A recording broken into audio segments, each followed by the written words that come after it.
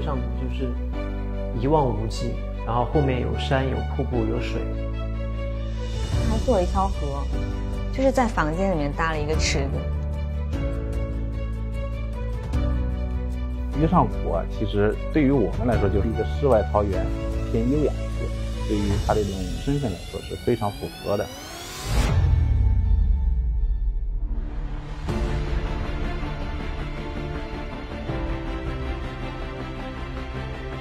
是我们的车从那个旁边过的时候，我就在说，哎，这个是哪个组的景？那么好看，然后那么大。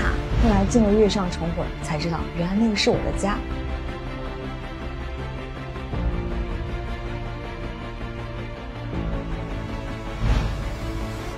整个的这个陈火宫大殿其实难度非常大的，因为实景建筑对于我们来说是有一定的挑战的。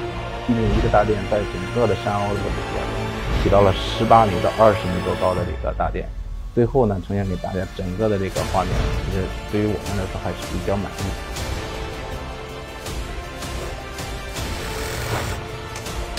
整体的服装是那种非常分明的，就各个门派武林。大会啊，兵器补大会这些。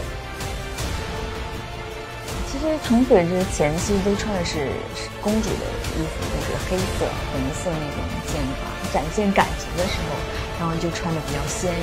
比如我乡乡村的时候，穿的就是那种麻布样。